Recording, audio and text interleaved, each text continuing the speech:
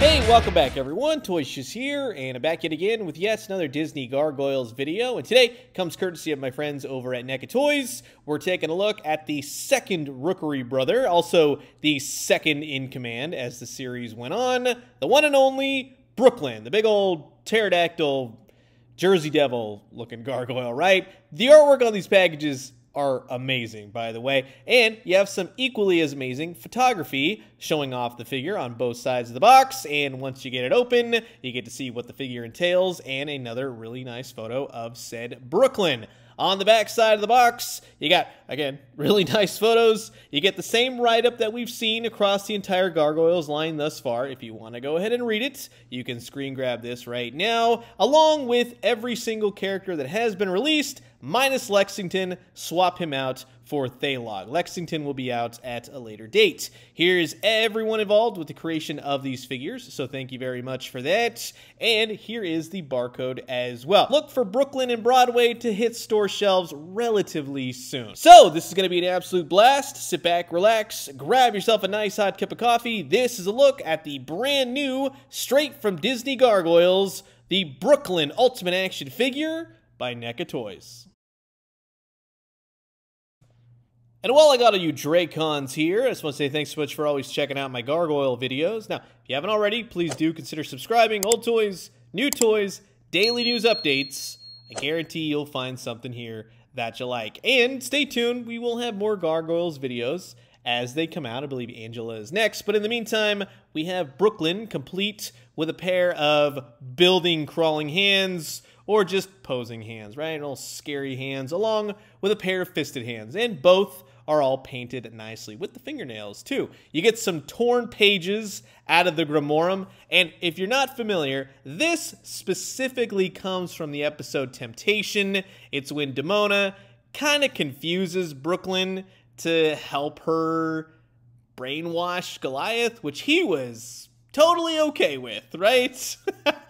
I never really cared for Brooklyn. Out of all the Rookery brothers, Brooklyn was kind of like the one where you thought, yeah, you know, he might be evil eventually. There's something up with him. But it's a great episode, Temptation, and with these torn pages, along with said Grimorum, if you have the Demona figure, yeah, you can complete the episode, so to speak, right? They look like little torn pages out of the book because uh, Brooklyn pulls them out to control Goliath. You also get a pair of shades. Now, again, this hails from the same episode, Temptation, when Lexington builds a motorcycle and uh, good old Brooklyn takes it for a spin, ends up getting into a fight with a biker gang, but he just looks cool. And they do fit on his head rather well, both head portraits. So if you want to go snarly and have glasses, you can do that as well. I would say, if anything, just go really easy on them. They're very thin. Now, if you ever collected the 90s Kenner toy line for gargoyles, then you might recognize this next accessory. This being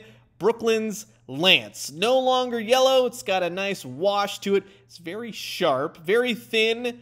It's just a nice design overall. Very cool. And he does have a few hands which allow him to hold it. So I definitely like that nostalgic throwback. We saw it with Broadway, we now have it for Brooklyn, and we will see the same thing with Lexington. It's very thin, you don't want to hit it the wrong way, just go very easy with it. You also get an extra head portrait for Brooklyn. It's a very snarly head. It's very cool, very well done. They've captured his very beaky face, although I would have much rather preferred a jaw that moved on this. I think that that would have been really cool. They nailed his hair. He's always had this white, silverish hair. It's very well painted, got little semblance of blues and grays in there. The one problem being is that it's very rigid. It's not going to work with you, especially when you want to put it on his neck and you want to also include the wings. More on that in just a few. Speaking of the wings, you get two of them and they're giants. These are probably the biggest wings. They don't really have a curve to them. They got lots of little details, like his little three prong hand kind of thing right there. That's awesome. Creepy, but awesome. But all the colors everything looks great. The texture looks great. The paint looks great. When you kind of hit it in the light to a certain degree, it's got a nice little sheen to it. Different colors pop out as you move it around. So very well done wings. If you've known the Gargoyles line so far by NECA, you know how these wings go. And you have a really nice looking Brooklyn figure. Of all the Gargoyles lines so far, this one, for me, is definitely a standout. I like the reds. The wings are pretty cool. He's got peg holes on his little toe right there on each side. Much like Broadway, right? You have the same type of bendy wire tail that all the gargoyles have gotten thus far. There's no paint on this one, but it's very bendy and it does aid him in standing up. You've got the peg holes on his back. That's where the wings obviously will go. And with the hair, much like hair in general for action figures, if it's longer, it will hinder some elements of articulation. Although his neck and his head are two different parts, so I do like that. You get an extra little bit of articulation out of it, along with articulation at the jaw. I totally dig that, and that was a big missing element from the Broadway figure. You can make him talk to if you'd like. That is very cool. I like that they did that. It's the same exact articulation that's not crazy or anything, but they have included, like I said, the extra amount of neck articulation to kind of help you get around the wings. Kinda, sorta. They nailed the face portraits, the arms, have bicep swivel, double jointed elbows, the wrists, yada yada. It's the same articulation. He's got a bit of an ab crunch. It'll swivel, swivel at the waist. He's got his little belt buckle and loincloth, and he's got the legs and the knees. They'll rotate the knees. Got the big clodhopper feet. Everything is pretty sound. Nothing is loose, and that's always important when standing these gargoyles figures. Now, on the back, you just simply attach the wings. It's pretty self-explanatory, and he does look great.